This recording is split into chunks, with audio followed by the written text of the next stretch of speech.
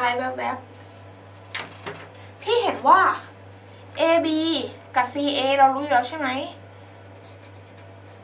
พี่ก็เขียน AB AB คือเท่าไหร่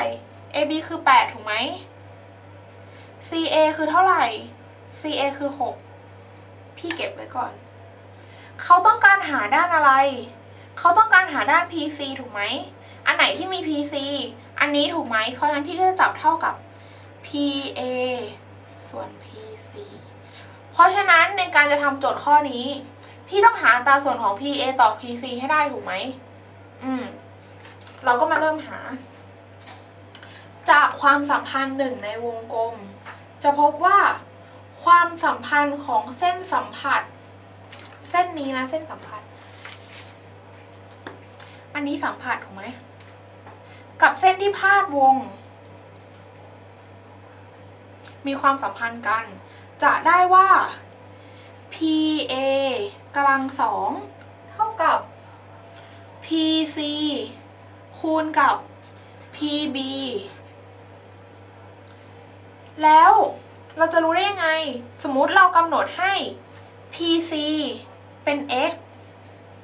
เพราะ PC คือสิ่งที่เราต้องการหาใช่ไหม เราก็เลยกำหนดให้เป็น x อะ PC เป็น x PB เท่ากับเท่าไหร่ PB เท่ากับไม่เท่ากับ 7 นะ เพราะ PB เท่ากับ x บวก 7 เท่ากับ PA กำลังสอง เพราะฉะนั้น PA เท่ากับ x กำลังสองบวก 7 x แล้วถอดรูทเพราะฉะนั้น จากความสัมพันธ์อันแรกเลยที่เราเขียนไว้ เราเขียนไว้ว่าอะไรนะ เราเขียนไว้ว่า PA ต่อ PC ใช่ไหม เราพี่เอามาเขียนใหม่เป็น PA ต่อ PC เท่ากับ 8 ส่วน 6 เมื่อเราได้ PA แล้ว PA เท่ากับเท่าไหร่รูท x กำลังสองบวก 7x PC ที่เรากำหนดตะกี้ PC เท่ากับเท่าไหร่ เท่ากับ x ถูกไหม เท่ากับ 8 ส่วน 6 พี่ทำยังไงพี่ตัดก่อนได้ไหมจะได้คูณง่ายๆ เป็น 4 ส่วน 3 พี่คูณไขว้ปุ๊บ 3 สแควร์รูท x กำลังสองบวก 7x เท่ากับ 4x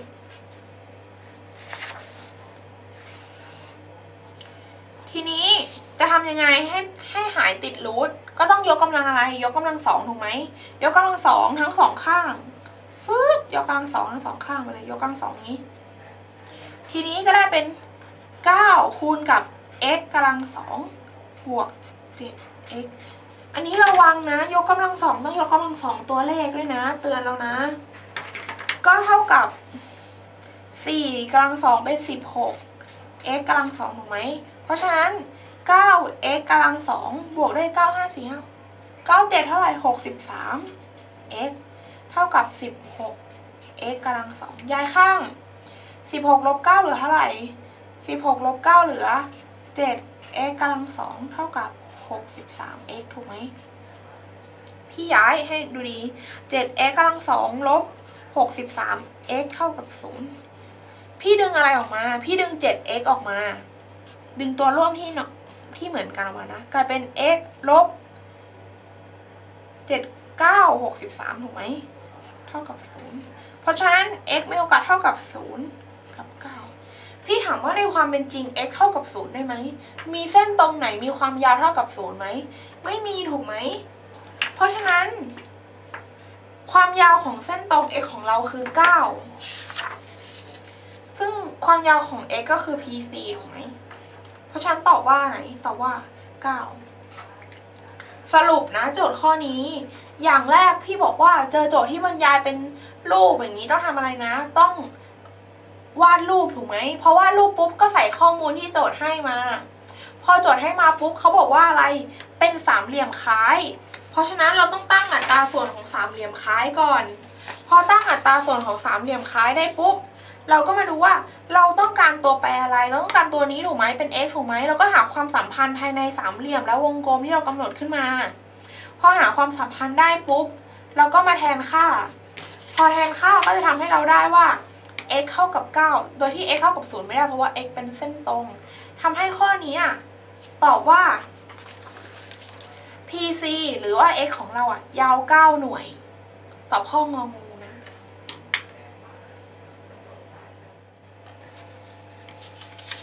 ต่อไปก็เป็นข้อ 16 นะคะ รูปสามเหลี่ยม ABC มีด้าน AB เท่ากับ 5 หน่วย BC เท่ากับ 7 หน่วย AC เท่ากับ 9 หน่วย จุด D อยู่บนด้าน AC ทำให้ BD เท่ากับ 5 หน่วย จงหาอัตราส่วนของ AD ต่อ DC ก็ไก่7ต่อ 5 ขอไข่ 11 ต่อ 6 คอควาย 13จุด13 ต่อ 5 งองู 19 ต่อ 8 อะ จทย์ข้อนี้อย่างแรกเราต้องทำอะไรอย่างแรกเราต้องวาดรูปถูกไหมอะเขากำหนดอะไรมาเขากำหนดสามเหลี่ยม A B C ถูกปะพี่ก็วาดนะสามเหลี่ยม A B C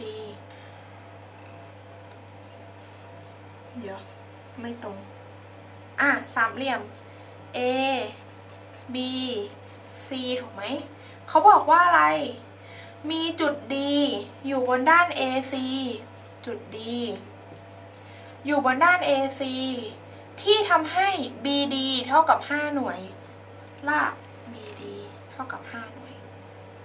พี่เขียนแทนค่าลงไป B เท่ากับนั้นนะ 5 ถูกไหม แล้ว AB ก็เท่ากับ 5 และอะไรอีก BC BC เท่ากับ 7 ถูกไหม แล้วก็ AC เท่ากับ 9 เขียนอยู่ข้างนอกนะเท่ากับ 9 อืม ทีนี้เราจะค้นพบอะไรบางอย่าง น้องต้องสงสัยว่า เอ๊ะลากจากจุด B ไปจุด D ลากจากจุด B ไปจุด A ทำไมมันยาว 5 เท่ากันเลยล่ะ สามเหลี่ยมในมอต้นมักจะสัมพันธ์อยู่กับสิ่งที่เรียกว่าอะไรนะ วงกลมถูกไหม เพราะฉะนั้นข้อนี้ก็เป็นอีกข้อหนึ่งที่เป็นสามเหลี่ยมอยู่ในวงกลม โดยที่โจทย์ไม่ต้องบอกแต่เราต้องรู้เอง เพราะฉะนั้นพี่จะวาดให้ BA เนี่ยเป็นรัศมีเหมือนกัน BD ก็เป็นรัศมีถูกไหมเพราะฉะนั้นพี่จะวาดส่วนของเส้นตรง ส่วนให้เป็นวงกลม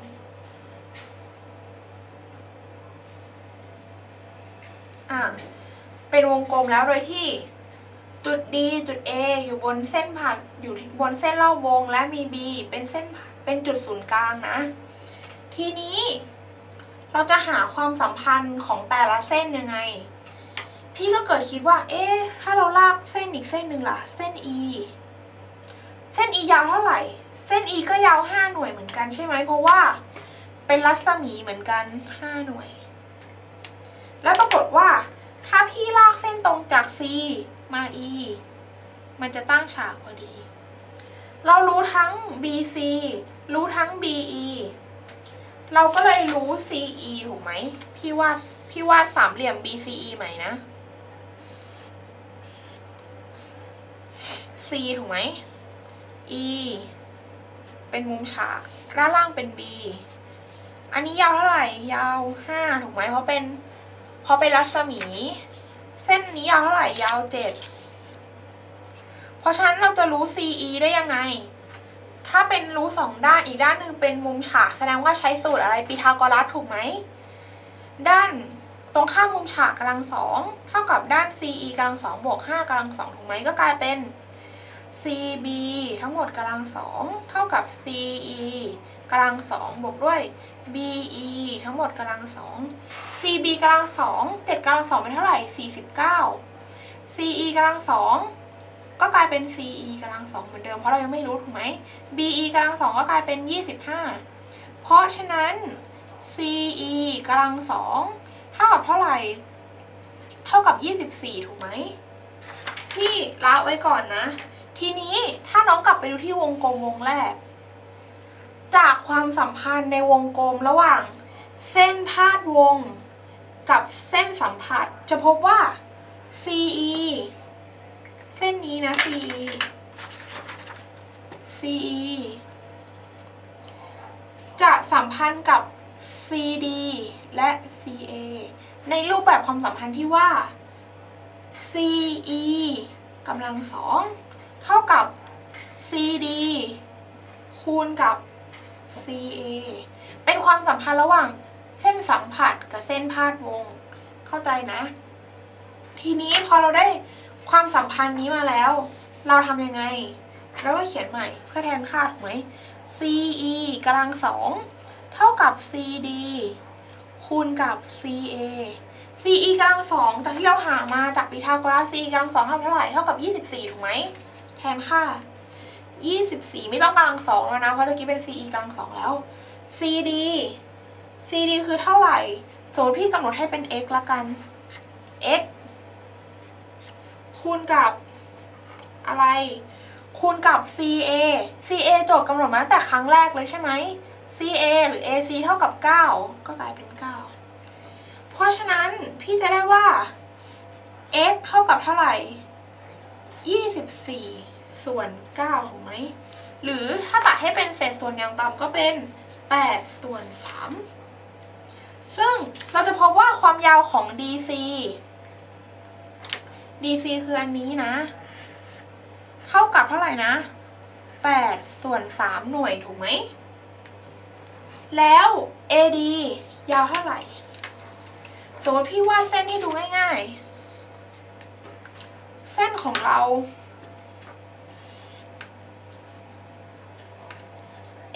C นะ อันนี้คือ D ถูกไหม เรารู้แล้วว่า CD ของเราคือ8ส่วน3แล้วเราก็รู้แต่ต้นที่โจทย์กำหนดให้ว่า AC ของเราคือ 9 หน่วยถูกไหม เพราะฉะนั้น DA คือเท่าไหร่คือ9ลบ8ส่วน3ถูกไหม เท่ากับเท่าไหร่ทำคอรนอเป็น 3 ถูกไหมก็3 27ลบ8เป็น 19 ต่อ 3 กลับมาที่โจทย์ โจทย์ถามว่าอะไร จงหาอัตราส่วนด้าน AD ต่อ DC ถูกไหม AD ต่อ DC เราได้หรือยัง AD ต่อ DC เป็นเท่าไหร่เป็น 19 ต่อ 3 ต่อด้วย 8 ต่อ 3 ถูกไหม ซึ่ง 19 ต่อ 3 กับ 8 ต่อ 3 เราพบว่า 3 มันตัดกันได้ถูกไหมเพราะเขาถามเป็นอัตราส่วนพี่ก็ตัด 3 ออกไป สรุปเหลืออัตราส่วนคือ 19 ต่อ 8 มีช้อยไหม ตอบช้อยข้ององู สรุปนะ ในการทำรูปสามเหลี่ยมอะไรอย่างนี้ เกี่ยวกับพวกที่เขาให้โจทย์มา โดยที่เขาไม่ให้รูป อย่างแรกคือต้องวาดรูป พอวาดรูปเสร็จแล้วก็ดูว่าโจทย์กำหนดอะไรมาให้และหาความสัมพันธ์ ความสัมพันธ์ในมอต้นส่วนมากสามเหลี่ยมมักจะมีความสัมพันธ์กับวงกลม ซึ่งพอเราวาดสามเหลี่ยมและวงกลมได้แล้ว เราก็มาดูต่อว่าโจทย์ถามอะไร สมมุติอันนี้พี่ต้องการหาตัวนี้ถูกไหม ก็ต้องไล่ค่อยๆไล่หาว่า พี่จะหาตัวนี้ได้ยังไง พี่ต้องหาเส้นนี้ก่อนใช่ไหมพอพี่หาเส้นนี้ได้ปุ๊บพี่ก็จะเอาค่าของ CE กำลังสองไปหาความสัมพันธ์ระหว่างเส้นสัมผัสกับเส้นพาดวง ในรูปของ CE กำลังสองเท่ากับ CD คูณ CA ซึ่งพอเราได้แล้ว เราก็หา x ได้แล้วเราก็เอาหาหา CD กับ DA ในรูปอัตราส่วน ก็พอเป็นอัตราส่วนปุ๊บก็จะตอบข้ององูข้อนี้ก็ค่อนข้างยากนิดนึงเนาะก็ค่อยๆระวังแล้วก็ฝึกทำไปเรื่อยๆแล้วกันตอบข้ององูนะคะ ข้อ 17 นะ จากรูป SBKT เส้นนี้ SBKT เป็นเส้นตรง โดยที่ SA และ TC เป็นเส้นสัมผัส AST มุมนี้เท่ากับ 42 CKT เท่ากับ 55 องศา และ SBC SBC เท่ากับ 155 องศา จงหาว่า CTS มีเป็นมุมกี่องศากอไก่ 25 องศา ขอไข่ 28 องศา คอควาย 32 องศา และงองู 20 องศา ข้อนี้ เป็นเกี่ยวกับเลขาคณิตเหมือนกัน แต่ข้อนี้เราไม่ต้องวาดภาพเองเนื่องจากโจทย์วาดมาให้แล้ว ทีนี้อย่างแรกเราก็ต้องเอาข้อมูลที่โจทย์ให้ใส่ลงไปในรูปถูกไหม อย่างแรกเขาบอกว่าอะไร AST AST มุมนี้ใช่ไหม เป็น 42 พี่มาเขียนไว้ข้างนอกนะจะได้เห็นชัดๆ CKT CKT มุมนี้เป็น 55 องศา และ SBC SBC มุมป้านมุมใหญ่เนี่ยเป็นร้อยห้าสิบห้าองศา เขาถามว่า CTS จะเท่ากับเท่าไหร่ พี่กำหนดให้มุมนี้แล้วกันนะ CTS เป็นมุม x มุม x คือมุมที่เราต้องการจะหานะ อะ เริ่มจากตอนแรก เราพยายามเติมทุกช่องให้เต็มก่อน ช่องไหนที่เราเห็นเป็นช่องแรกเราก็ใส่เลย พี่เห็นว่า มุมนี้ เส้นนี้เป็นเส้นตรงใช่ไหมที่เขาบอก แสดงว่ามุมนี้คือ C B K เนี่ย มุมเนี้ย ก็ต้องเท่ากับ180ลบ155ถูกไหมถามว่าทำไมเพราะว่ามุมนี้คือมุมของเส้นตรงใช่ไหม มุมของเส้นตรงคือ300 คือ 180 องศาใช่ไหมเพราะฉะนั้นก็คือ 180ลบ55 ก็คือ 25 องศา พอเราได้มุมนี้ปุ๊บทำให้เรารู้สึกว่าเราได้มุมนี้ต่อ ถามว่าทำไม จากคุณสมบัติที่ว่า คุณสมบัตินี้นะ คือ มุมภายนอก เท่ากับมุมภายในบวกกัน ซึ่งไม่รวมด้านที่ประชิดก็คือไม่รวมด้านนี้ถูกไหมมุมภายนอก 55 ก็คือ 25 บวกกับมุมนี้ มุมนี้ก็ต้องเท่ากับ 55ลบ25 เท่ากับ 30 องศา หลังจากนั้นเราหามุมอะไรได้อีก เราก็หาว่า มุมนี้ มุม F A B เท่ากับ 30องศาเหมือนกัน บางคนสงสัย อ้าว พี่รู้ได้ไงคะว่ามุมนี้เท่ากับ30เพราะว่า มุมที่เกิดจากเส้นสัมผัสกับขอดกระทำต่อกัน เส้นสัมผัสนะ กับขอดนี่เห็นไหมกระทำต่อกัน จะมีค่าเท่ากับมุมภายในที่อยู่ตรงข้าม มุมภายใน ที่อยู่ตรงข้ามถูกไหมนี่เส้นสัมพันธ์กระทำต่อคอนี้ เท่ากับมุมภายในที่อยู่ตรงข้ามเพราะฉะนั้นก็คือ 30 องศาเหมือนกัน ทีนี้เราหามุมไหนได้อีก หามุมนี้พี่เปลี่ยนสีนิดนึงมุมนี้อะเหตุผลล่ะทำไมพี่ถึงรู้ว่ามุมนี้คืออะไรตะกี้เราเคยพูดไปแล้วว่า มุมภายนอก เท่ากับมุมภายใน บวกกันไม่รวมด้านนี้ถูกไหมไม่รวมด้านประชิดถูกไหม เพราะฉะนั้นมุมสีเขียวตอบว่าเท่าไหร่ก็คือ 42 บวก 30 ถูกไหม ก็เป็น 72 องศา พอพี่หามุมนี้แล้วหามุมไหนได้อีก หามุม หามุมนี้ถูกไหม หามุมนี้ มุมป้านอันใหญ่นี้ ถ้าหามุมนี้ได้เราก็จะรู้มุมนี้แล้วถูกไหมเพราะมุมนี้เป็นสามเหลี่ยมถูกไหม แล้วเราจะหามุมนี้ได้ยังไง เราหามุมนี้ได้จากไหนรู้ไหม เราหามุมนี้ได้จาก 25 องศาบวกกับ 72 ก็คือ มุมนี้ เท่ากับ มุมนี้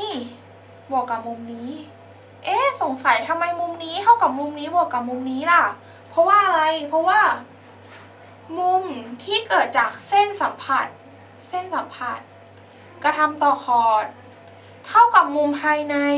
ของด้านที่อยู่ตรงข้ามถูกไหมมุมภายในของด้านที่อยู่ตรงข้าม เพราะฉะนั้นมุมนี้ก็ต้องเท่ากับสีเขียวบวกสีส้มก็คือ 72 บวกกับ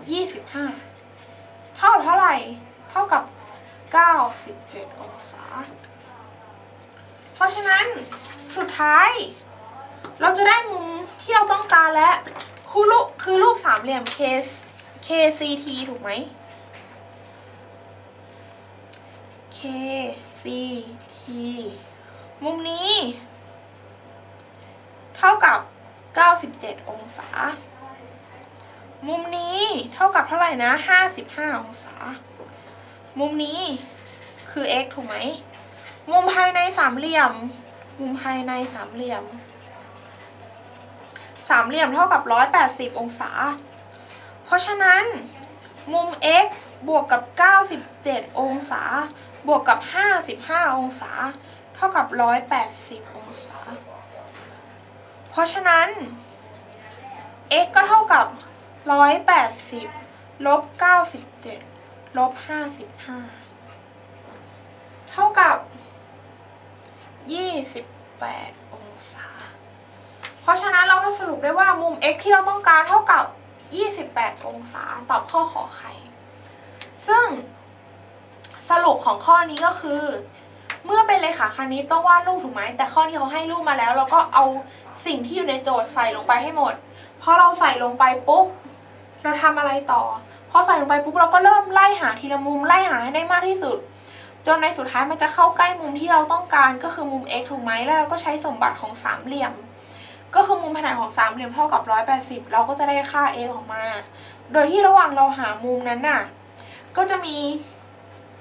ใช้เกตกฎสองหลักสองหลักสำคัญก็คือ มุมภายนอกเท่ากับมุมภายในสองด้านรวมกัน มุมภายนอกอย่างเงี้ยนะเท่ากับมุมภายในสองด้านรวมกัน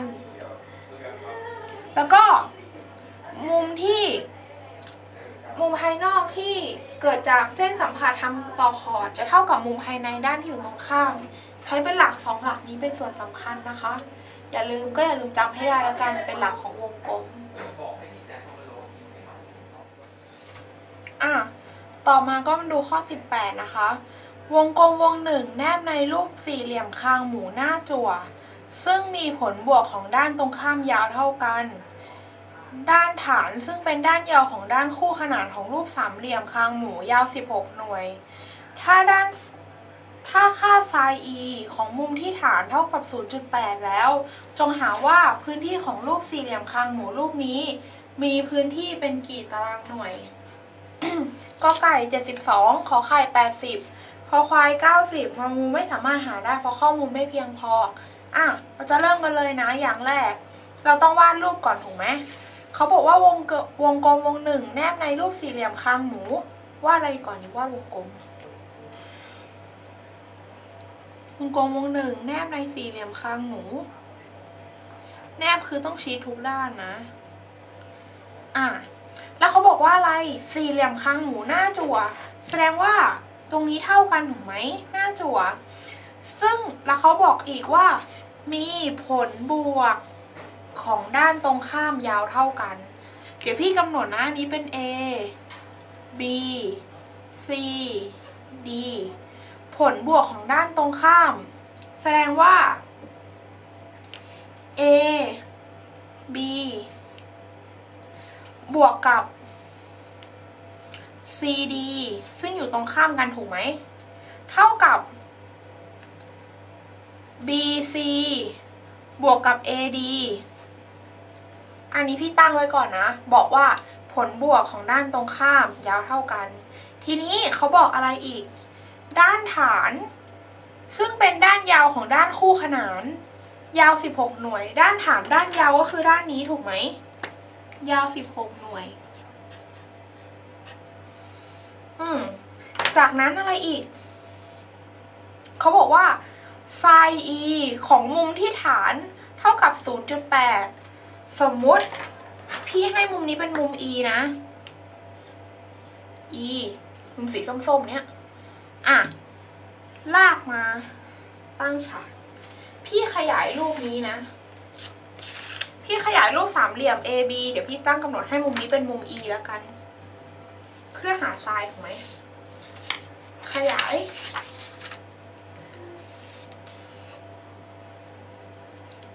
A B E มุมนี้คือมุม E เขาบอกว่า sin e เท่ากับ 0.8 ถูกไหม เพราะฉะนั้นค่า sin e เนี้ย ค่า sin คือด้านตรงข้ามหารด้วยด้านฉากถูกไหม ค่า sin e เท่ากับ ด้านตรงข้ามคือ be หารด้วย ab ที่เป็นด้านตรงข้ามเท่ากับ 8 ส่วน 10 หรือ 0.8 นั่นแหละ ทีนี้แสดงว่าถ้าด้าน ถ้าด้านนี้ ยาว 8 ด้านนี้ก็ต้องยาว 10 ถูกไหม ด้านนี้ยาวเท่าไหร่รู้เปล่าปีทาโกรัสตรงนี้มุมฉาก 3 4 5 ก็ต้องเป็น 6 8 10 อะทีนี้ได้แล้วที่กลับมาที่รูปแรกเขาบอกว่า ถ้าด้านนี้เป็นสิบหกจากที่เรารู้ว่าตะกี้ตรงนี้เป็นด้านสิบถูกไหมแสดงว่าด้านนี้ก็ต้องด้านสิบเหมือนกันเพราะเขาบอกว่า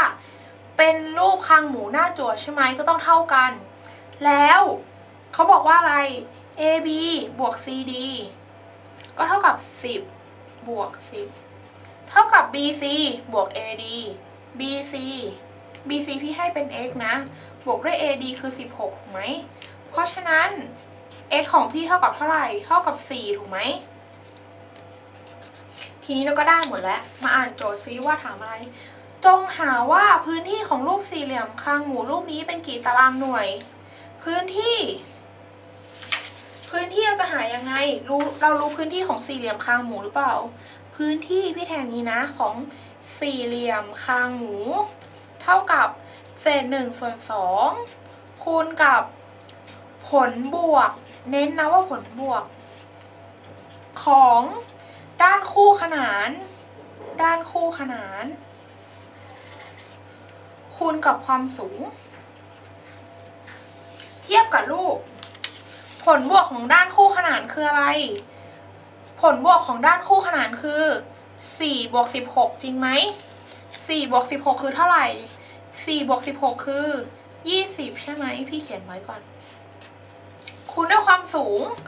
ความสูงคือตรงนี้ที่ตั้งฉาก จากรูปสามเหลี่ยมที่เราคิดสามเหลี่ยมนี้สูงเท่าไหร่8เซน8ถูกไหมแล้วก็แปดมาใส่ คูณด้วยแปดแสดงว่าพื้นที่เท่ากับเศษหนึ่งส่วนสองคูณด้วยยี่สิบคูณด้วยแปดสองตัดกันเป็นสิบ เท่ากับแปดสิบตารางหน่วย เพราะฉะนั้นมาดูโจทย์เขาถามว่าอะไร พื้นที่ของสี่เหลี่ยมลูกนี้เป็นกี่ตารางหน่วยตอบว่าแปดสิบซึ่งในการทำโจทย์แบบนี้ อย่างแรกต้องวาดรูปถูกไหม แล้วก็เอาเงื่อนไขของโจทย์มาทำต่อ ซึ่งเขาบอกว่าด้านตรงข้ามยาวเท่ากันอะพี่ก็เขียนไว้ว่าด้านตรงข้ามบวกกันแล้วยาวเท่ากันนะ ทีนี้เขาให้ค่าทรายมา เราก็หาค่าทราย ทำไม อย่างนี้ทำให้หาด้านได้ว่าแต่ละด้านยาวเท่าไหร่ จากนั้นก็มาหาตามสูตรของพื้นที่ อย่างนี้ทำให้เรารู้ว่าพื้นที่อะเท่ากับ 80 ตารางหน่วยถูกไหมอืม เพราะฉะนั้นก็ตอบข้อขอไข่นะอะต่อไปเป็นข้อ 19 ให้ไซน์วงเล็บ a บวก b เท่ากับไซน์ a cos b บวก cos a sin b ดังนั้นค่าของไซน์75 ตรงกับข้อใดกอไก่รูท3บวก1ส่วน2รูท2ขอไข่รูท3ลบ1ส่วน2รูท2คอควายรูท3ลบ1ส่วน2รูท2และงองูรูท3บวก1ส่วน2รูท3น้องบางคนจะงงๆพี่คะหนูไม่เคยเรียนไซน์75 มาก่อนหนูจะทำได้ยังไงอะไม่ต้องสงสัยคือโจทย์เขากำหนดอะไรมาให้ พยายามใช้สิ่งที่โจทย์กำหนดมา คือโจทย์บอกว่า sin a บวก b ถูกไหม เท่ากับ sin a cos b บวก cos a sin b แสดงว่าเราก็ต้องแยกก่อนว่า เรารู้จักมุมอะไรบ้างนะ เกี่ยวกับเรื่องตรีโกณ ในเรื่องตรีโกณน้องรู้จักเรื่องอะไรมุมศูนย์สามสิบสี่สิบห้าหกสิบแล้วก็เก้าสิบถูกไหมไซค อสแทนไซศูนย์ได้เท่าไหร่ ได้ศูนย์ถูกไหมไซสามสิบหนึ่งส่วนสองไซสี่สิบห้าหนึ่งส่วนรูทสองsin หกสิบ root สามส่วนสอง sin เก้าสิบล่ะหนึ่ง cos cos เหมือน cos จะตรงข้ามกับ sin cos ศูนย์คือหนึ่ง cos สามสิบคือ root สามส่วนสอง cos สี่ห้าหนึ่งส่วน root สอง cos หกสิบ หนึ่งส่วนสองแล้วก็ cos เก้าสิบคือศูนย์สังเกตว่ามันจะตรงข้ามกันนะ tan tan ศูนย์คือศูนย์แทนสามสิบหนึ่งส่วนรูทสามแทนสี่ห้าหนึ่งแทนหกสิบรูทสามแทนเก้าสิบหาค่าไม่ได้เพราะว่า แทนคือไซน์ส่วนคอสใช่ไหมก็คือหนึ่งส่วนศูนย์ซึ่งส่วนศูนย์นี่หาค่าไม่ได้ถูกไหมอืม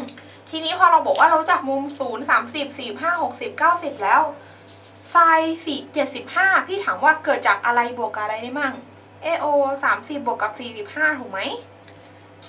สามสิบบวกกับสี่สิบห้าเพราะฉะนั้นพี่บอกว่า sin a บวก b อะที่จะทำให้เท่ากับ sin 75มาจาก sin 30บวกกับ sin 45ได้ไหมได้ถูกไหมเพราะฉะนั้น sin 75ก็เท่ากับ sin 30บ บวกด้วย 45ใส่องศาพี่เอาไปแทนสูตรนะ sin 30 ให้ 30 เป็น a 45 เป็น b ถูกไหม sin a sin a ก็คือ sin 30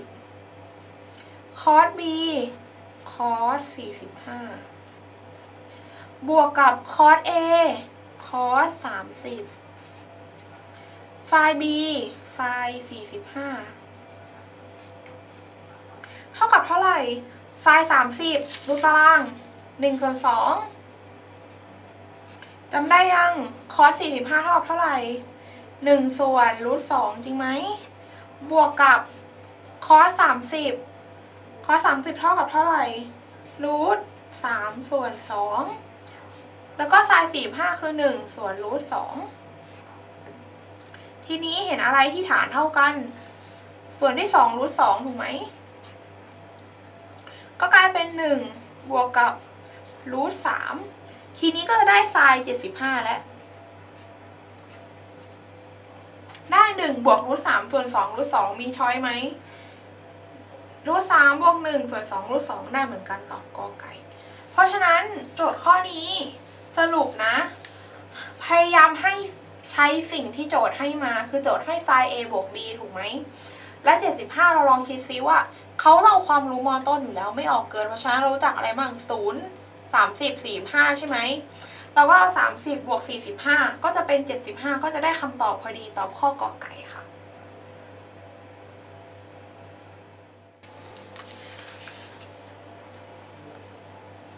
ข้อ 20 ของวงเล็บ sin a ลบ cosec a ทั้งหมดกำลังสอง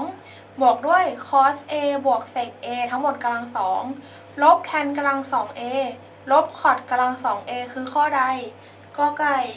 สามขอไข่สิบคอควายเจ็ดงองูห้าอืมข้อนี้ อย่างแรก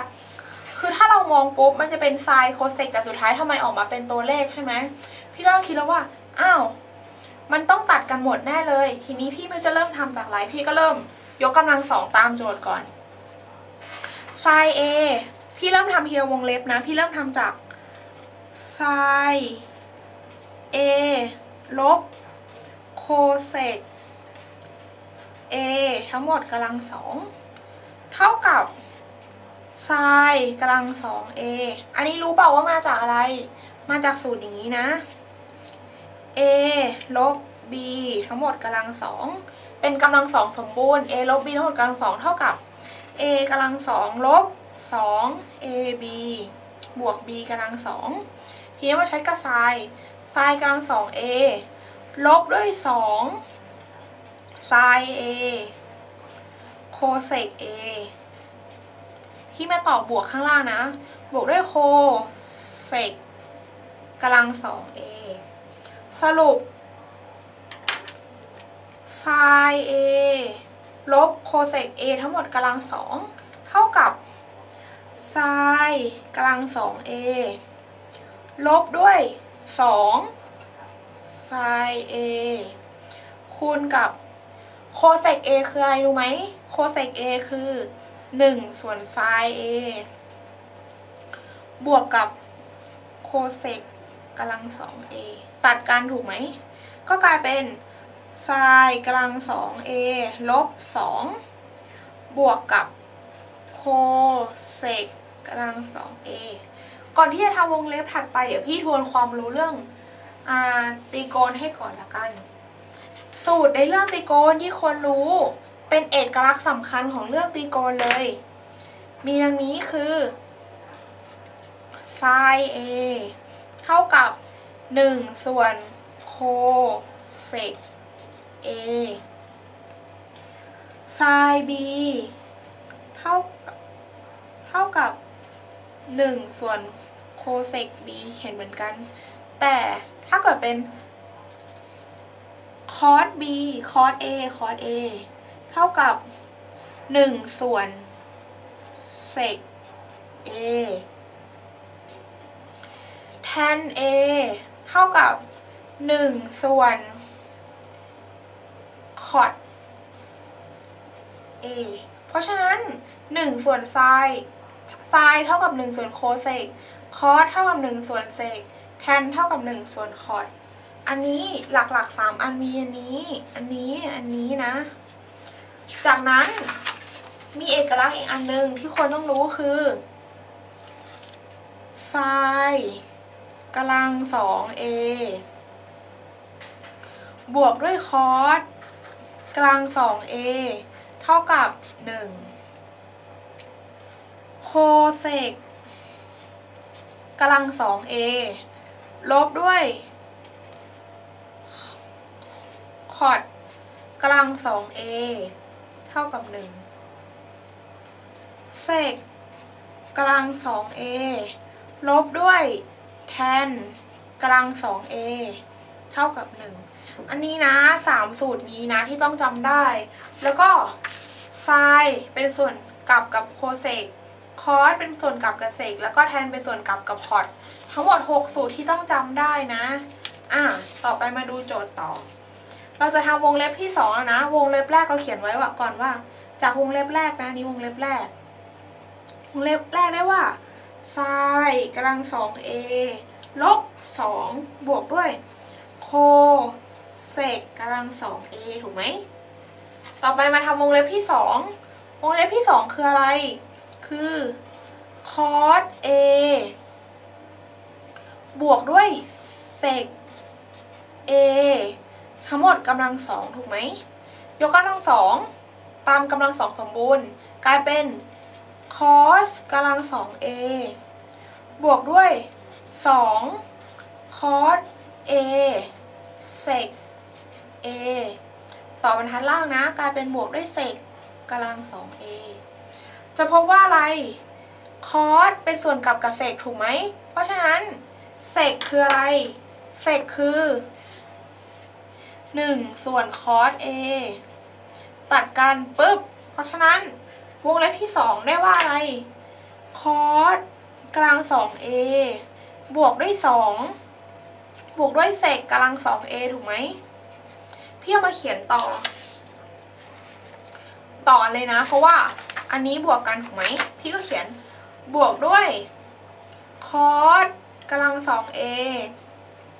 บวกด้วยสองบวกด้วยเศษกำลังสอง a ทีนี้อันนี้ต้องทำอะไรอีกไหมพี่เอามาใส่เลยนะ ต่อข้างล่างนะ ลบ แทนกำลังสอง a ลบคอดกำลังสอง a ต่อไปพี่จะเริ่มจับคู่แล้วนะจำเอกลักษณ์ได้หรือเปล่า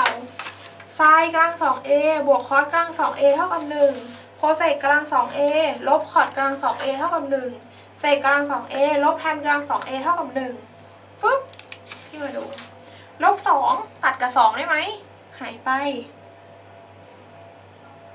ไฟล์กำลังสอง a บวกคอสกำลังสอง a เท่ากับเท่าไหร่นะเท่ากับหนึ่งถูกไหมพี่ตัดวงเล็บนี้ไป เท่ากับหนึ่งโคเศษกำลังสอง a ลบคอดกำลังสอง a เท่ากับเท่าไหร่นะเท่ากับหนึ่งถูกไหมแสดงว่าตัวนี้ใช้ไปแล้ว เท่ากับหนึ่งเศษกำลังสอง a ลบแทนกำลังสอง a เท่ากับหนึ่งจริงๆไหมใช้ไปหมดทุกตัวยังใช้ไปหมดแล้วใช่ไหมเพราะฉะนั้นตอบหนึ่งบวกหนึ่งบวกหนึ่งเท่ากับสามตอบใช้ข้อกอไก่ เพราะฉะนั้นสรุปถ้าเราเจอโจทย์เรื่องอตีโกนแล้วมันเป็นเยอะๆอย่างเงี้ย แล้วสุดท้ายอะทำไมคำตอบมาเป็นตัวเลขแสดงว่ามันต้องใช้เอกลักษณ์ของตีโกนเป็นตัวจัดการหมดใช่ไหม เพราะฉะนั้นเราก็ต้องกระจายตัวที่เราได้มาก่อนจากโจทย์แล้วเราก็ใช้ เอกลักษณ์ตีโกนมาจับคู่เช่นไซน์มันสองเอบวกคอสมันสองเอเท่ากับหนึ่งซึ่งพอได้คำตอบก็จะกลายเป็นตัวเลขอย่างเดียวตอบข้อกอไก่นะคะ ข้อนี้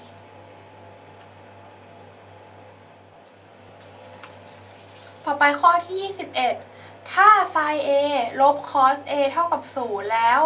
ค่าของ 1 บวก sin a ส่วน 1 ลบ cos a ตรงกับข้อใดก็ไก่ 3 บวกรูท2ขอไข่ 2 บวกรูท2 อควาย3บวก2รูท2งองูไม่มีคำตอบ ข้อนี้ถ้าเราใช้ข้อมูลที่โจทย์ให้เราจะพบว่า จากสมการนี้ sin a ลบ cos a เท่ากับ 0 แสดงว่าอะไรเราย้ายข้างได้ถูกไหม ก็กลายเป็น sin a เท่ากับ cos a ซึ่งในการที่เราเรียนมาในมอต้น มุมที่ sin a เท่ากับ cos a คือมุมอะไรรู้ไหม45 องศาถูกไหม เพราะฉะนั้นเรารู้แล้วว่า a คือ 45 องศาทำให้เราทำข้อนี้ง่ายขึ้นมาก ๆ เพราะฉะนั้น 1 บวก sin a ก็คือ sin 45 องศาถูกไหม ส่วนด้วย 1 ลบ cos a ก็คือ cos 45 เท่ากับ 1 บวกได้เท่าไหร่ 1 ส่วนรูท2 กับ1ลบ1ส่วนรูท2ต่อมาเราก็จัดรูปรูปนี้ถูกไหม หาคอนอของตัวข้างบนทำให้เป็นรูทสองอันนี้ก็กลายเป็นรูทสองถูกไหมรูทสองส่วนรูทสองบวกด้วยหนึ่งข้างล่างทำให้เป็นรูทสองเหมือนกัน กลายเป็นอะไรกลายเป็นรูทสองลบหนึ่งทีนี้เรามาจัดรูปต่อ จัดรูปยังไง คืออันนี้เป็นส่วนใช่ไหมหารอยู่ใช่ไหมแล้วกลับเศษเป็นส่วนก็กลายเป็นคูณกัน ก็กลายเป็นรูทสองบวกหนึ่งส่วนด้วยรูทสองคูณกับรูทสองส่วนด้วยรูทสองลบหนึ่งตัดกัน เพราะฉะนั้นคำตอบของเราคือรูทสองบวกหนึ่งส่วนด้วยรูทสองลบหนึ่ง แต่พี่ถามว่าคำตอบนี้มีในช้อยไหม ไม่มีถูกไหม เพราะฉะนั้น เรามาเทียบโจทย์กับช้อยมันไม่มีข้อไหนที่เป็นเศษส่วนเลยใช่ไหม เพราะฉะนั้นเราต้องทำให้ส่วนเราหายไปโดยการทำที่เรียกว่า conjugate conjugate คืออะไรเน้องบางคนอาจจะสงสัย เอ๊ะ conjugate คืออะไร conjugate คือการที่ทำให้ส่วนที่ติดรูทหรืออะไรอย่างเงี้ย หายไป โดยการคูณด้วยตัวตรงข้าม เพราะว่าทำไมเราถึงต้องคูณด้วยตัวตรงข้ามรู้ไหม เราเคยเรียนมาใช่ไหมว่า ถ้าสูตรเป็น x บวก y คูณกับ x ลบ y สูตรผลต่างกำลังสองอะ คูณกันแล้วปุ๊บจะได้เป็น x กลังสองลบ y กลังสองซึ่งไอตัวกำลังสองนี่แหละ มันจะเป็นตัวที่ทำให้รูทของเราหายไป เพราะฉะนั้น ถ้าส่วนของเราเป็นรูทสองลบหนึ่งตัวตรงข้ามก็ต้องเป็น รูทสองบวกหนึ่งถูกไหมอะเพราะฉะนั้นพี่จะคูณด้วยตัวตรงข้ามคือคูณด้วยรูทสองบวกหนึ่งเวลาคูณจะทำไงไม่ให้ค่าเปลี่ยน เราก็ต้องคูณทั้งบนทั้งล่างถูกไหม ถ้าเราคูณทั้งบนทั้งล่างก็เหมือนเราคูณด้วยหนึ่งถูกไหม ก็กลายเป็นรูทสองบวกหนึ่งรูทสองบวกหนึ่งก็จะเท่ากับ ข้างบนก็จะกลายเป็นรูทสองบวกหนึ่ง ทั้งหมดกำลังสองถูกไหมข้างล่างก็กลายเป็นหน้าลบหลังคูณด้วยหน้าบวกหลังกลายเป็น หน้ากำลังสองลบหลังกำลังสองหน้ากำลังสองรูทสองทั้งหมดกำลังสองกลายเป็นเท่าไหร่ กลายเป็นสองถูกไหมลบด้วยหนึ่งกำลังสองมันเท่ากับกระจายข้างบน หน้าบวกหลังทั้งหมดกำลังสองเท่ากับ หน้ากำลังสองรูทสองกำลังสองเท่ากับสองบวกด้วยสองหน้า หลัง บวกด้วยหลังกำลังสองถูกไหมส่วนด้วยรูทสองกำลังสองคือสองลบหนึ่งก็คือหนึ่งเท่ากับสองบวกหนึ่งเป็นสามบวกด้วยสองรูทสองนั่นเอง มาดูซิว่าตรงกับข้อไหนสามบวกด้วยสองรูทสองตรงกับข้อคอควาย เพราะฉะนั้นโจทย์ข้อนี้ตอบข้อคอควาย พยายามนึกให้ออกว่าพยายามใช้ประยุกต์ ถ้าเราไม่ถ้าเรานึกไม่ออกว่า A คือมุม 45 องศาเราจะต้องคิดยาวกว่านี้ ซึ่งพี่แนะนำให้คิดวิธีนี้ดีกว่า เพราะว่าเรารู้ว่ามุมเดียวที่ sin A เท่ากับ cos A ก็คือมุม 45 องศาใช่ไหม พอได้แล้วเอาไปแทนค่าในนี้ พอแทนค่าปุ๊บถ้าในโจทย์ไม่มี แสดงว่าเราต้องเปลี่ยนรูปคำตอบของเราให้อยู่ในรูปที่สวยกว่านั้นใช่ไหม เพราะฉะนั้น เราต้องตอบโจทย์อยู่ในรูป เราต้องเอาไปคอนจูเกตเพื่อให้ส่วนหายไปถูกไหม เราก็จะได้คำตอบเป็นข้อคอควายพอดีค่ะ ข้อ 22 นะ ข้อมูลชุดหนึ่งมี 15จำนวน ถ้านำไปหาค่าเฉลี่ยเลขคณิตจะได้ 10 หน่วย ต่อมาทราบว่าจำนวนหนึ่งใน 15 นั้นน่ะ อ่านผิดที่จริงอะเป็น 13 หน่วย อ่านผิดเป็น 18 หน่วย จงหาค่าเฉลี่ยเลขคณิตที่ถูกต้องกอไก่ 10.67 ขอไข่ 10.33 คอควาย 9.17 งองู 9.67 อะ เราก็มาหานะ เราก็พอเราอ่านจทย์ปุ๊บเราก็รู้แล้วว่าข้อมูลเรื่องนี้ก็เกี่ยวกับเรื่องสถิติ แน่นอนเพราะว่ามีเรื่องเกี่ยวกับค่าเฉลี่ยเลขคณิตถูกไหม ซึ่งค่าเฉลี่ยเลขคณิตเป็นค่ากลางในเรื่องสถิติ ที่ถามว่า ค่าเฉลี่ยเลขคณิต มีสูตรว่าอะไร ค่าเฉลี่ยเลขคณิต หรือที่เราเรียกอีกอย่างหนึ่งว่า x bar x bar นะ x bar คือผลรวมข้อมูลทั้งหมดถูกไหม ก็คือเอาข้อมูลทุกข้อมาบวกกัน ส่วนด้วย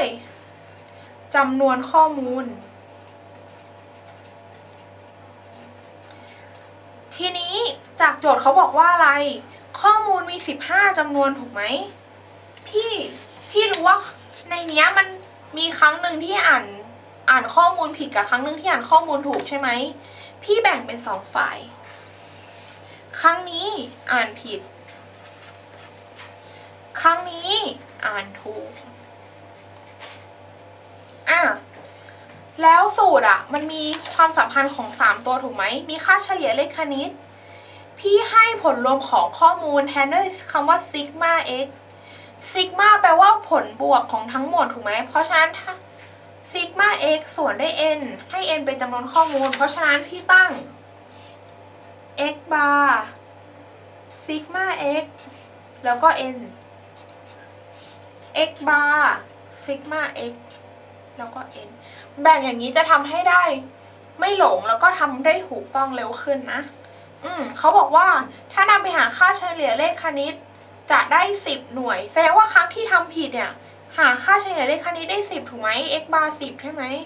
จำนวนข้อมูลคือ 15 เพราะฉะนั้นพี่ถามว่าซิกมา x หรือว่าข้อมูลทั้งหมดอะมันมีความสัมพันธ์กันยังไง มีความสัมพันธ์คือ x bar เท่ากับซิกมา x ส่วน n เพราะฉะนั้นพี่ย้ายข้าง n ขึ้นไปกลายเป็น ซิกมา x เท่ากับ x bar คูณ n ถูกไหม เพราะฉะนั้นซิกมา x ของข้อนี้คือ x bar คูณ n 15คูณ10 เป็น 150 ทีนี้มาดูครั้งที่เราจะคิดว่ามันถูกต้องบ้าง เขาบอกว่าอะไรจำนวนเป็น 15 เหมือนเดิมถูกไหม แล้วซิกมา x ล่ะ ครั้งเดิมเราได้ 150 ถูกไหมนี่คือที่ผิด แต่เขาบอกว่า มีการอ่านผิดไป จริงๆอะเป็น 13 นะ แต่เราอ่านเป็น 18 แสดงว่าอีเนี่ยมันต้องมีเลข 18 อยู่จริงไหม เราลบ 18 ออก และละออนที่ถูกใส่เข้าไปคือ 13 ถูกไหม อันนี้คือที่ผิดเราออกแล้วก็ใส่ที่ถูกเข้าไป เพราะฉะนั้นซิกมา x ของเราเป็นเท่าไหร่ 150 ลบ 18 บวก 13 ลบ 18 บวก 13 เป็นเท่าไหร่เป็นลบ5ถูกไหมลบ5เพราะฉะนั้นซิกมา x ของเราคือ145 x bar เท่ากับเท่าไหร่ซิกมา x ส่วน n ถูกไหม145ส่วน15ทีนี้เราก็คิดเลข145ส่วน15ได้เท่าไหร่ แสดงว่าหารสมมติพี่หาร5ก่อน5 3 15ถูกไหม ห้าสองสิบเหลือเศษสี่ห้าเก้าสี่สิบห้าสามสามเก้ายี่สิบเจ็ดถูกไหมเหลือเศษสองสามเจ็ดยี่สิบเอ็ดมันเกิน เพราะฉะนั้นก็ต้องสามหกสิบแปดใส่สองไปด้วยหกหกหกหกก็ปัดไปเก้าจุดหกเจ็ดเพราะฉะนั้น x bar ที่ถูกต้องของเราคือเก้าจุดหกเจ็ดตอบข้ององู พี่จะมีทริกนิดนึง คือข้อนี้มันคือข้อท้ายๆของข้อสอบแล้วถูกไหม ถ้าเกิดเราทำไม่ทัน เราเห็นแล้วเราพยายามตอบเลยคือว่า เราอ่านผิดเป็น18ข้อมูลจริงก็13ถูกไหม เพราะฉะนั้นข้อมูลของเราต้องลดลงถูกไหมค่าของข้อมูลเราลดลงถูกไหมเพราะฉะนั้น x bar เราก็ต้องลดลงถูกไหมเพราะฉะนั้นจะต้องไม่มากกว่า 10 เพราะฉะนั้นช้อยข้อไหนมากกว่า 10 เราตอบผิดไปเลย ทีนี้ก็เหลือ 2 ข้อ อันนี้ก็เอาไว้ดาวเอาเพื่อฉุกเฉินอืมสรุปข้อนี้นะ พยายามแบ่งเป็นครั้งที่ถูกและครั้งที่ผิด แล้วก็เอาข้อมูลมาใส่ทั้ง x bar sigma x แล้วก็ n x bar sigma x แล้วก็ n ซึ่งพอเราได้ปุ๊บแล้วก็เอาข้อมูลที่ผิดลบออกบวกข้อมูลที่ถูก แล้วก็ไปใส่สูตร x bar เท่ากับ sigma x ส่วน n ก็จะได้ x bar ที่ถูกต้องมาตอบข้ององู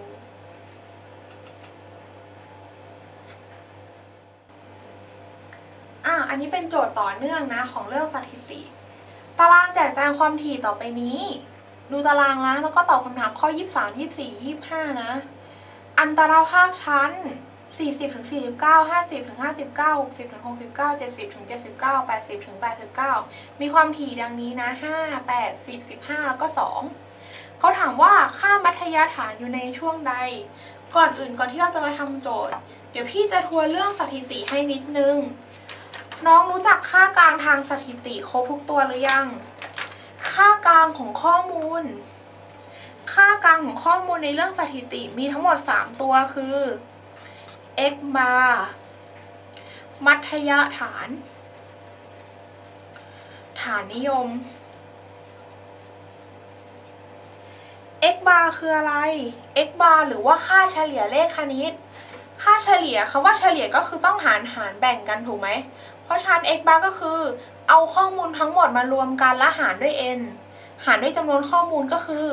sigma x ก็คือเอาข้อมูลตัวมาบวกบวกบวกบวกกันให้หมด แล้วก็หารด้วยจำนวนทั้งหมด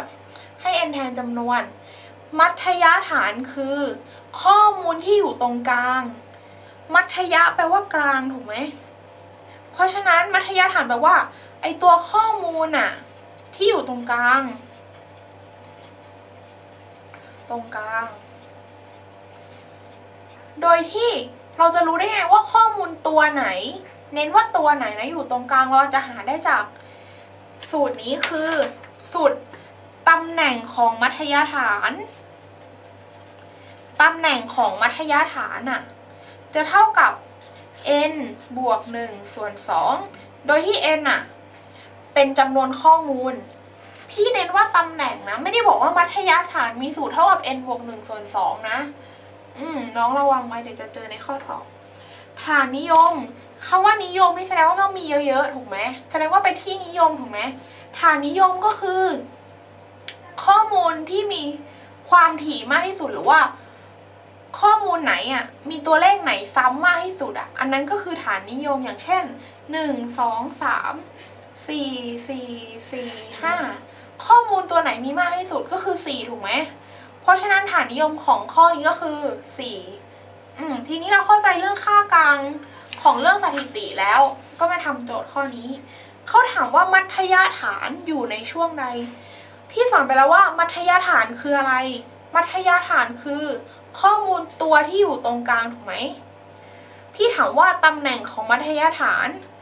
ตำแหน่งพี่แทนเป็นนี้นะตำแหน่งของมัธยฐาน คือ ตำแหน่งที่ n บวก 1 ส่วน 2 ถูกไหม แล้วเราจะรู้ได้ไงว่ามี n เท่าไหร่ เราก็ทำช่องอีกช่องหนึ่งขึ้นมา ช่องนี้เราเรียกว่า ความถี่สะสม ความถี่สะสมคำว่าสะสมนี่ก็คือต้องเก็บมาเรื่อยๆ ถูกไหม เพราะฉะนั้นตัวนี้เป็น 5 ช่องถัดไปถ้าเราสะสมมาเราก็ต้องบวกเพิ่มถูกไหม8บวก5เป็นเท่าไหร่ 13 13บสามบวก10เป็น23บสามบวก15เข้าไปก็เป็น38แปดและ40เพราะฉะนั้นข้อมูลของเราทั้งหมดมี40จำนวนถูกไหมตำแหน่งของมัธยฐานของเราคือ40บบวก1ส่วน2เท่ากับ20.5ถูกไหมตอบได้เลยไหมว่ามัธยฐานของเราเท่ากับ20.5ไม่ได้ถูกไหมเพราะว่า20.5คือ ตำแหน่งของมัธยฐาน มัธยฐานของเราอยู่ที่ตัวที่ 20.5 ตัวที่ 20.5 อยู่ในช่องไหน อยู่ในช่องนี้ถูกไหม ถามว่าพี่รู้ได้ไงว่าอยู่ในช่องนี้ เพราะว่ารู้จักความถี่สะสมสิ ตัวที่ 1 ตัวที่ 5 อยู่ในช่องนี้นะ ตัวที่ 1 ถึงตัวที่ 13 เนี่ยอยู่ในช่วงนี้นะ ไอตัวที่ 13 เนี่ยอยู่ในช่วงนี้ ตัวที่ 23 เป็นตัวมากสุดที่อยู่ในช่วงนี้ถูกไหม ตัวที่ 20 ก็ต้องอยู่ระหว่างช่วงนี้ เพราะฉะนั้นค่ามัธยฐานของเราตอบข้ออะไร ตอบข้อ 60ถึง69 ถูกไหม ก็ตอบขอไข่ ต่อไปเรามาดูข้อ 24 มันเป็นโจทย์ต่อเนื่องกันนะ ถามว่า ค่านิยมอยู่ในช่วงใด พี่บอกแล้วว่าค่านิยมคืออะไร ค่านิยมคือข้อมูลที่มีความถี่มากที่สุดจริงไหม เพราะฉะนั้นช่วงไหนที่มีข้อมูลมากที่สุด น้องเห็นไหมดูสิ ช่วงนี้นะมีข้อมูลแค่ 5 เอง ช่วงนี้มีข้อมูลตั้ง 15 เนี่ย แสดงว่าช่วงนี้มากสุด เพราะฉะนั้นฐานนิยมของพี่อยู่ในช่วง 70ถึง79 ถูกไหม ตอบข้อคอควาย และสุดท้าย ค่าเฉลี่ยเลขคณิต อืมพี่สอนแล้วว่าค่าเฉลี่ยเลขคณิตคือ ข้อมูลทั้งหมดมาบวกกันถูกไหม ซึ่งค่าเฉลี่ยเลขคณิตเนี่ย หาได้จาก x bar เท่ากับ ซิกมา x ส่วน n ถูกไหมซิกมา x ก็คือ ในการทำอะ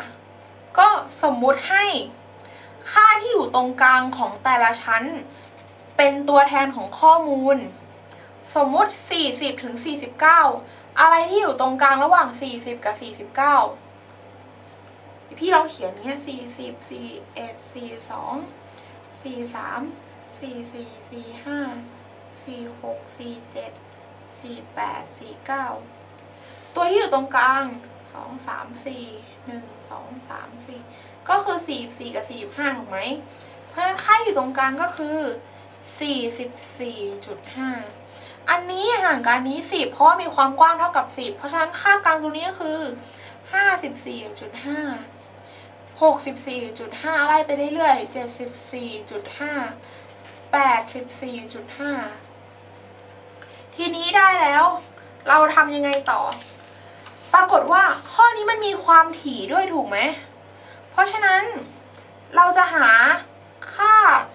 เฉลี่ยเลขคณิตเราก็ต้องเอาความถี่ของเราไปคูณกับค่ากลาง ซึ่งก็คือ 5 คูณด้วย 44.5 บวกกับ 8 คูณด้วย 54.5 บวกกับ 10 คูณด้วย 64.5 บวกกับ 15 คูณด้วย 74.5 พี่บอกมาต่อข้างล่างนะ 2 คูณด้วย 80 84.5 หารด้วยจำนวนข้อมูลเราเคยนับไปแล้วจำนวนข้อมูลมีเท่ากับเท่าไหร่ 40 ถูกไหม 40 พี่ก็บวกทั้งหมดหารกัน ทีนี้ พี่ก็บวก 5คูณ44.5 ได้เท่าไหร่ 222.5 ถูกไหม8คูณกับ 54.5 ได้เท่าไหร่ 436 10คูณกับ6 64.5 ได้ 645 15คูณ74.5 ได้เท่าไหร่ได้ 1,117.5 บวกกับ 2คูณกับ 84.5 ได้ 169.0 ส่วน 40 นี่คือ x bar ของเรา เอาข้างบนรวมกัน รวมกันนะน้องค่อยๆ รวมได้ 2,590 ส่วนด้วยจำนวนทั้งหมดก็คือ 40 เพราะฉะนั้นพี่หารกัน x bar ของพี่ได้เท่ากับ x bar ของพี่ได้เท่ากับเท่าไหร่64.75 ข้อนี้ถ้าน้องคิดเลขตามพี่ไม่ทันน้องหยุดแล้วก็อ่าค่อยๆคูณเลขแล้วค่อยๆเอามาบวกกันแล้วกัน อะ เพราะฉะนั้นข้อนี้พี่ถามว่า x bar ของเราคือ 64.75 มีช้อยไหม 64.75กับข้อกอไก่เพราะฉะนั้นสรุป 3 ข้อสุดท้ายเป็นเรื่องเกี่ยวกับ สถิติใช่ไหมเราต้องใช้ค่ากลางทั้งมัธยฐาน ฐานนิยมแล้วก็ค่าเฉลี่ยเลขคณิต ซึ่งสูตรที่สำคัญคือ x bar เท่ากับซิกมา x ส่วน n มัธยฐานคือข้อมูลตัวที่อยู่ตรงกลาง โดยหาตำแหน่งของมัธยฐานจาก n บวก1ส่วน 2 เมื่อ n คือตำแหน่งของข้อมูล และฐานนิยมก็คือ ข้อมูลตัวที่มากที่สุด ซึ่งพอมาเทียบกับในตาราง สำคัญนิดนึงตรงที่น้องต้องระวังว่า เวลาเขาหาค่าเฉลี่ยเลขคณิตต้องอย่าลืมคูณความถี่ของข้อมูลไปด้วย อย่างข้อมูลนี้ก็แปลว่ามี 44.5 อยู่ 5 ตัวนะ เพราะฉะนั้นต้องอย่าลืมความถี่ เพราะถ้าลืมความถี่จะผิด พอได้แล้วปุ๊บก็มาหารกันจะได้ ค่าเฉลี่ยเลขคณิต แล้วก็ค่ากลางอื่นๆ ข้อนี้ก็ตอบตามที่เฉลยมานะทั้งมัธยฐาน ฐานนิยม แล้วก็ค่าเฉลี่ยเลขคณิต ก็จบการเฉลยปี 2534 วิชาคณิตศาสตร์เข้าเตรียมอุดมนะคะ ก็ขอให้น้องๆที่ดูโชคดีในการสอบทุกคนค่ะ สวัสดีค่ะ